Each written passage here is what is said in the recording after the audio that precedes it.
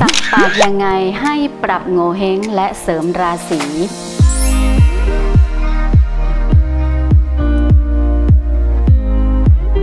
สวัสดีค่ะ พบกับรายการ Love and Share และ Master วนิยา ผู้เชี่ยวชาญด้านโหงวเฮ้งความงาม จากสถาบัน Bangkok Beauty Academy และสถานเสริมความงาม Beautorium Lounge ค่ะ คลิปก่อนหน้าเราได้พูดกันไปแล้วนะคะ ในเรื่องการสักคิ้วเสริมโงเฮงได้จริงหรือไม่ คลิปนี้ก็เช่นกันไม่ควรพลาดนะคะ เราจะพูดกันในเรื่อง สักปากแล้วเสริมโง่เฮงเสริมราศีได้จริงหรือไม่เช่นกันค่ะ ปากถือเป็นอวัยวะด่านสำคัญในการสื่อสารของมนุษย์เรานะคะ และเป็นขุมทรัพย์ในช่วงบั้นปลายชีวิต นั่นก็คือในช่วงอายุ 60 ปีค่ะ ริมฝีปากก็เป็นหนึ่งในอวัยวะของโหงวเฮ้งของเราบนใบหน้านะคะ โหงวเฮ้งที่ดีริมฝีปากต้องสมส่วนเหมาะสมกับใบหน้าของเรา มีริมฝีปากล่างใหญ่กว่าริมฝีปากบนเล็กน้อย เวลาหุบปากริมฝีปากบน และริมฝีปากล่างจะปิดแนบสนิท ริมฝีปากจะต้องมีกระจับที่สมดุลชัดเจน มีความ balance และมีความสมส่วนกับใบหน้าเรา สีของริมฝีปากจะต้องไม่คล้ำ ไม่หมอง ไม่ซีดจางเกินไป จะต้องมีสีชมพูระเรื่อ ซึ่งสื่อถึงการมีสุขภาพดี และมีร่างกายที่สมบูรณ์ค่ะ ผู้ที่มีริมฝีปากสมส่วนตามหลักโง่เฮงเช่นนี้ จะเป็นคนพูดจาดีมีวาทศิลป์ในการพูด จะประสบความสำเร็จในการงานที่ใช้การพูดการเจรจา และเมื่ออายุจรในช่วงอายุ 60 ซึ่งอายุ 60 คือริมฝีปากบน ถ้าริมฝีปากถูกหลักโง่เฮงและมีราศีก็จะส่งผลถึงชีวิตบ้านปลายที่ดีมั่นคง และมีสุขภาพร่างกายที่แข็งแรง ริมฝีปากที่สวยสมดุลตามหลักโงเฮงมียังไงบ้างเราไปดูกันค่ะ ริมฝีปากที่มีรูปกระจับสวยงามชัดเจน จะเป็นคนช่างพูดช่างเจรจา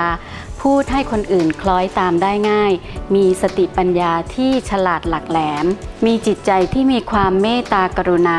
และมีปัญญามีวาสนาดีค่ะ ริมฝีปากที่มีมุม ตรงหรือช้อนขึ้น จะถือเป็นลักษณะริมฝีปากที่ดี ดูยิ้มแย้มและมีความสุขตลอดเวลา และสามารถเก็บความลับได้ดี บุคคลเช่นนี้ถือเป็นเพื่อนและเป็นกัลยาณมิตรที่ดีค่ะ และลักษณะริมฝีปากที่ดี จะต้องมีขอบ มีกระจับ มีหยักที่ชัดเจน และมีสีชมพูละเลือดสดใสไม่หมองคล้ำค่ะ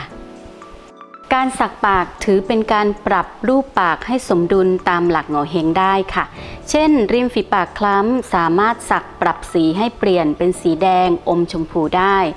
ริมฝีปากที่มีกระจับและมีขอบไม่ชัดเจน สามารถสักขอบและปรับกระจับให้ชัดเจนได้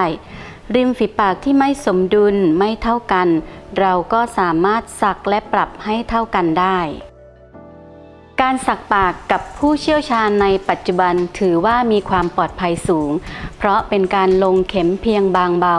เราสามารถปรึกษากับผู้เชี่ยวชาญที่คุณตัดสินใจที่จะไปสักปากเสริมโงเฮงกับเขาได้ สามารถให้ผู้เชี่ยวชาญนั้นออกแบบริมฝีปากให้เราดูก่อน หรือให้คำแนะนำในการเลือกสีเลือกโทนสี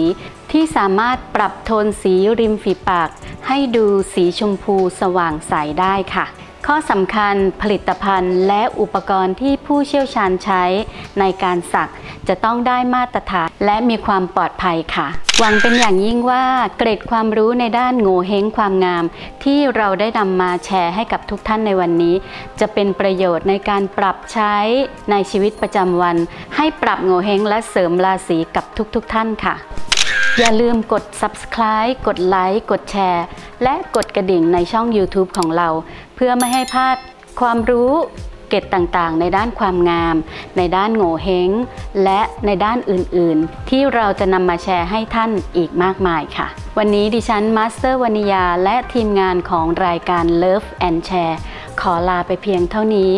พบกันใหม่คลิปหน้า อย่าลืมติดตามกันนะคะ สวัสดีค่ะ